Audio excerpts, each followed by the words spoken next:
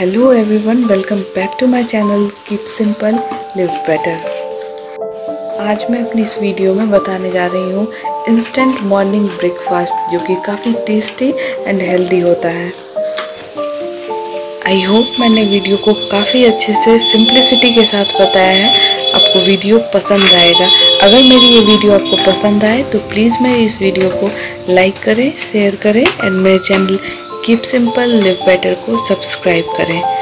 So without any delay let's get started चलिए शुरू करते हैं tasty and healthy morning breakfast को बनाना।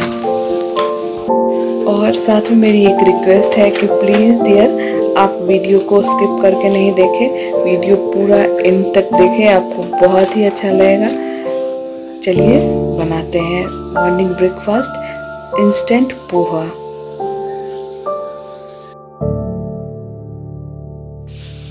सबसे पहले हमें क्या करना है? हमें पोहा ले लेना है। आपको जितनी भी क्वांटिटी का चाहिए, आप उस अकॉर्डिंग ले सकते हैं बट मैं यहाँ पे वन बोल तीन पोहा ले रही हूँ। तीन पोहा जो होता है, उससे टेस्ट ज़्यादा अच्छा आता है। पोहा को ना धो लेना है, उसके बाद जो पानी है, उसे ड्रेन कर देना है। इससे पोहा सॉफ्ट हो जाता है। उसके बाद मैं क्या कर रही हूँ? मैंने कढ़ाई को गर्म कर लिया है। और जब कढ़ाई गर्म हो जाए, उसके बाद हमें मस्टर्ड ऑयल डालना है। मस्टर्ड ऑयल ज़्यादा नहीं डालना है। पोहा एक हेल्दी ब्रेकफास्ट होता है। इसलिए कम ऑयल डालने पर भी अच्छे से बन जाएगा। इसके बाद मैंने डाला है वन टीस्पून मस्टर्ड सीड्स और अभी जो ये दिख रहा है, ये है fresh curry leaves curry leaves डालने से पोहा का टेस्ट बहुत अच्छा आता है, साथ के साथ करी लीव्स जो है ना, वो हेल्थ के लिए भी बहुत अच्छा होता है। इसके बाद मैं डाल रही हूँ स्लाइस्ड ऑनियंस मैंने ऑनियंस डाल दिया है, अब मीडियम फ्लेम पर ऑनियंस को हल्के से स्टिर करना है और तब तक स्टिर करना है जब तक कि ये गोल्डन ब्राउन नहीं हो जाते हैं। ये बहुत ही इंस्टेंट ब्रेकफास्ट है, आप इसे आसानी से बना सकते हैं। साथ के साथ ये टेस्टी एंड हेल्दी भी है। अभी मैं डाल रही हूँ फाइनली चॉप्ड ग्रीन चिलीज मैंने चिलीज डाल दिया है। इसके बाद हमें सभी चीज़ों को अच्छे से मिला देना है। फ्लेम को मीडियम रखना है, नहीं तो ऑनियंस जो है वो बर्न हो जाएँगे। इसके बाद मैं डाल रही हूँ वन टीस्पून हल्दी पाउडर।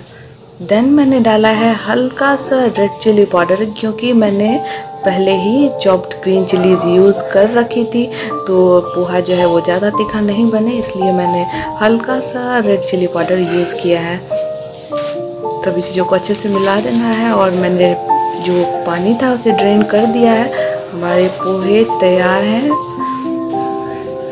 इसके बाद हमें पोहा को डाल देना है और जेंटली ही मिक्स करना है, क्योंकि पोहा जो है वो थिन वाला है और पानी डाला था मैंने तो वो सॉफ्ट हो चुके हैं। अगर आप ज़्यादा प्रेशर के साथ मैश करेंगे सॉरी स्टिर करेंगे तो वो मैस्ड हो जाएँगे। इसलिए हमें जेंटली ही हल्के हाथों से सभी चीज़ों को अच्छे से मिला देना है। ध्यान रहे, अभी भी जो फ्लेम है ना, वो मीडियम ही रखना है और सभी चीज़ों को जेंटली ही मिला लेना है। देखते ही देखते बहुत ही आसानी से बहुत ही कम इंग्रेडिएंट्स को यूज़ करके ये जो मॉर्निंग ब्रेकफास्ट है ना, बन जाता है।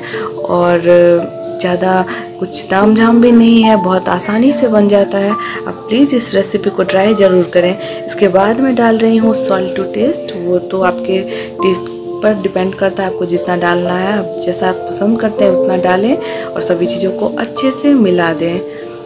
और देखते देखते हमारा जो पोहा है ना, वो ऑलमोस्ट डन है। अब देख रहे हैं ये देखने से कितना टेम्पटिंग माउथ वाटरिंग लग रहा है। बस अब और कुछ नहीं करना है, हमें फ्लेम को ऑफ़ करना है। हमारा पोहा बनकर तैयार है। बस हल्की सी गार्निशिंग हमें और करनी है, इसे सर्व करने से पहले। चलिए, इसे प्लेट में मैंने डाल दिया है।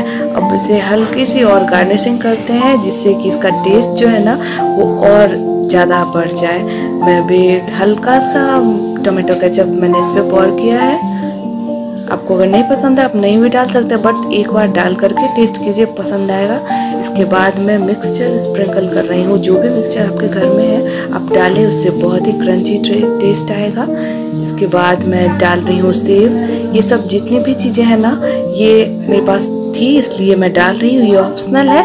अदरवाइज़ आप प्लेन पोहा मैंने जैसा बनाया था, वो भी ट्राई कर सकते हैं। बहुत अच्छी लगती है। इसके बाद मैं हल्का सा लेमन स्क्वीज कर रही हूँ, जिससे कि इसका टेस्ट और माउथ वाटरिंग हो जाए। हमारा चटपटा सा पोहा बनकर तैयार है। मैंने सिंप्लिसिटी के साथ बताया है। आई होप आपको वीडियो अच्छा लगेगा। और अच्छा लगे तो प्लीज़ मेरे इस वीडियो को लाइक करें शेयर करें एंड मेरे channel keep simple live better को सब्सक्राइब करें। Thank you so much